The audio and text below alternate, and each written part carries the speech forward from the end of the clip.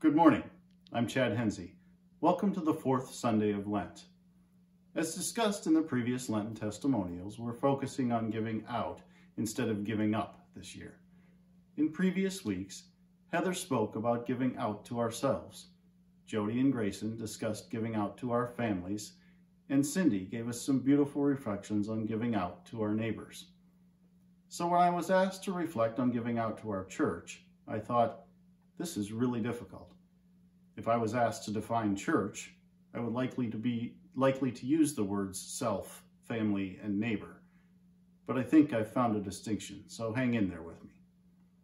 I want to take you back to an early COVID memory that I've been thinking about as we pass one year of the pandemic. I pulled into the parking lot at church to pick up Ella from Faith Journey class. As I drove in, I saw Don, a friend from First Church, standing next to his truck with a camera on a tripod. He seemed to be waiting for something to happen. When he noticed me, he walked over to my car. Neither of us was wearing a mask. That was when the science was still telling us they weren't really necessary.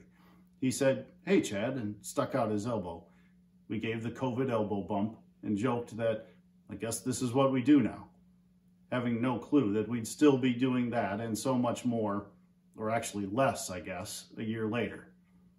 Don proceeded to explain that the moon was going to rise over the trees to the east, just as the sun was setting in the west. The moon was close to the earth and it was going to be spectacular. But this was just a practice run to get everything lined up because it was going to be even more amazing the following evening. We'll come back to Don in a minute. As many of you know, I'm an engineer. So humor me while I share a brief engineering lesson on feedback control systems. There are two primary types of control systems, open loop and closed loop. Let's use an example. If the cruise control in your car was an open loop system, and you told it that you wanted to go 65 miles per hour, it would set the accelerator to the angle that it predetermined would make your car go about 65 miles per hour. It might check that the accelerator was actually at that position, but that's the end of the story. So what happens if you go up or down a hill? Fortunately, your cru cruise control is a closed loop feedback control system.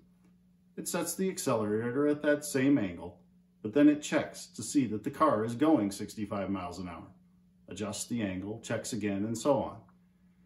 I want to suggest that giving out to our church is a closed loop feedback system.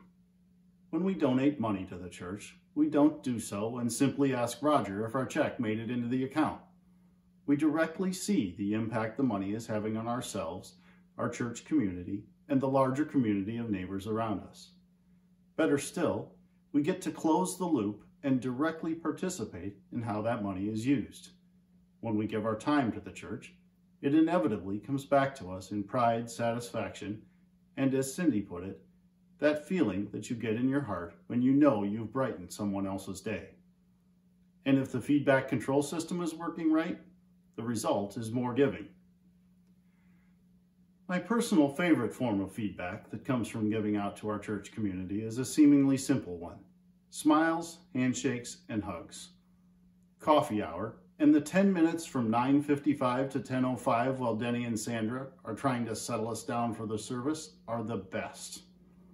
And the great part of that feedback is that it comes from the simplest possible kind of giving out to our church, just being present for each other.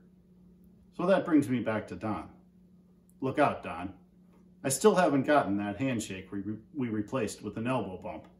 And by the time we get there, it's probably going to be a hug instead.